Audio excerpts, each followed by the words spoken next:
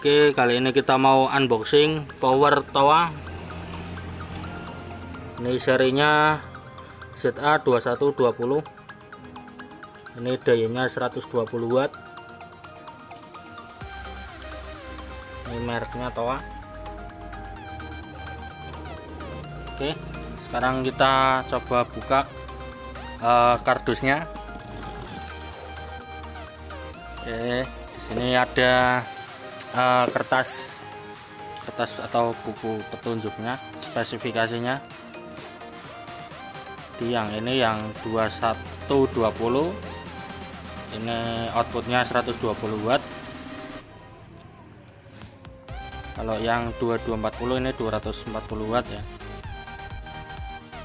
Oke, ini output 100 volt 70 volt 4 ohm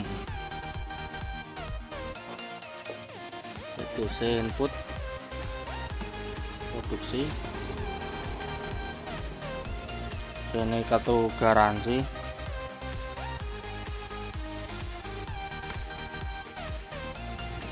Oke sekarang kita lihat powernya. Kita buka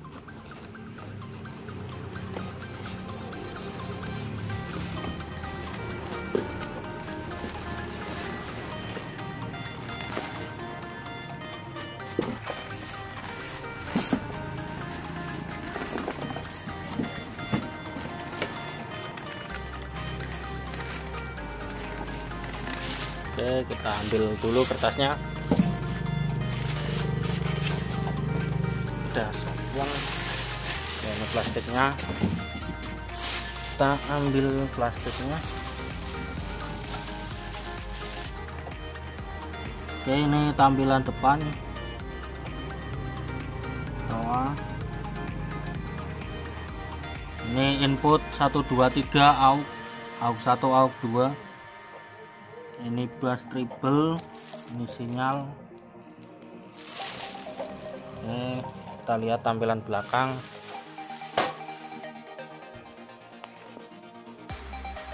Ini ada phantom. Ini phantom di off saja ini untuk grounding. Ini untuk mood. Nah, ini ada AUX nya AUX nya pakai RCA bukan toa lalu di sini ada outputnya. Outputnya ada dua. Jadi ini mau pakai com dan 4 ohm. Yang sebelah sini dua ini. Nah kalau mau pakai yang 100 volt atau 70 volt comnya pakai yang tengah bukan yang ini. Karena ini beda jalur ya. Ini jalurnya masing-masing. Nah yang ini kalau mau pakai input pakai aki aki pakai dua biji di seri kalau pas PLN mati bisa pakai ini.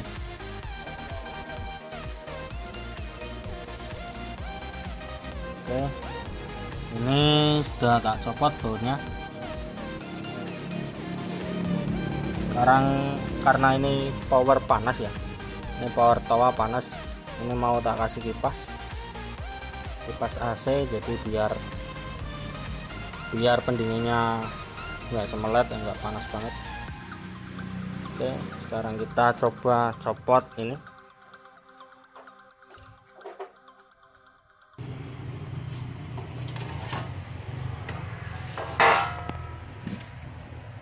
Oke jadi dalamannya seperti ini.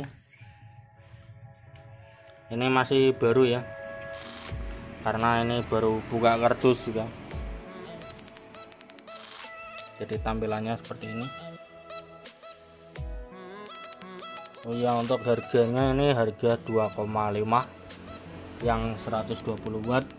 Nah ini 124 watt. Harganya 2,5 juta. Pakai trafo 9 ampere. 9 ampere 23 volt. Kalau yang 120 watt ini dia pakainya soket semua. Jadi rapi enggak enggak berantakan. Kalau yang 60 watt dia kan solderan semua. Soket yang ke PCB enggak ada jadi disolder semua. Dan PCB nya dibalik ya. Kalau ini PCB nya benar mesinnya di atas enggak dibalik. Final pakai dua set C5198 ini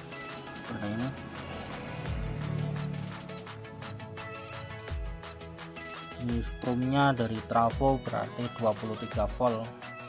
Ini strom trafonya 23 volt 9 ampere. Ini sekitar 200 watt daya trafo.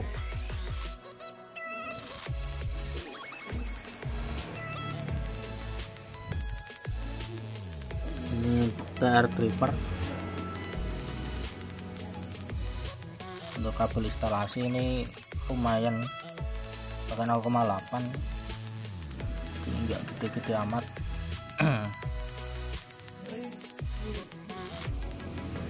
Nah nanti mau tak kasih pendingin. Pendingin mau taruh di sini ya. Ah, ke pendingin? Kipas ya? Kipas AC ini.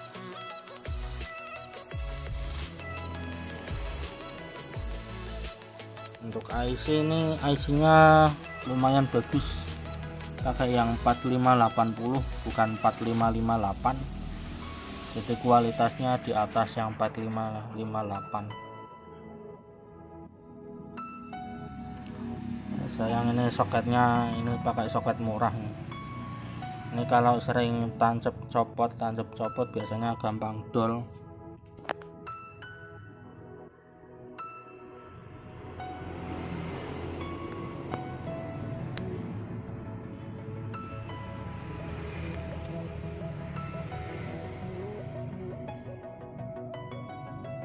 dan ini dia trafo OT ini OT 212 jadi mungkin ini trafo OT juga ada seri-serinya sendiri ya. Ini yang untuk seri 2120 yang power ini. Kalau yang 60 watt beda lagi mungkin trafonya di ini 0 NF 0 CT 7,2 ohm. Ini yang jalur ke power dan strom ini. Ini jalur strom ini jalur power out power ini out power. Masuk ke sini. Dan ini yang ke speaker. Ini jalur speaker. Yang 4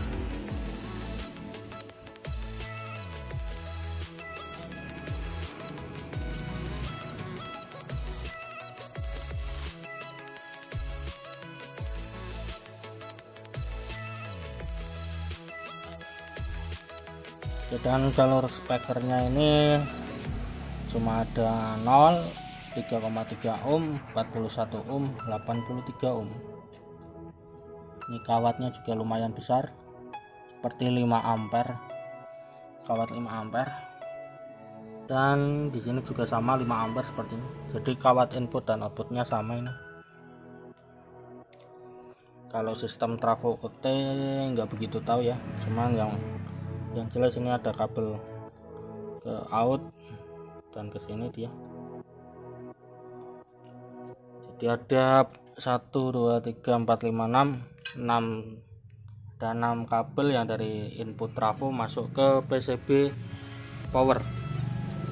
Dan ada 4 kabel output yang ke jalur speaker. Jadi ini sistem trafonya seperti itu untuk trafo OT tapi untuk jumlah lilitan saya nggak tahu. Oke jadi begitu saja untuk unboxing power toa 120 watt. Jangan lupa di subscribe. Terima kasih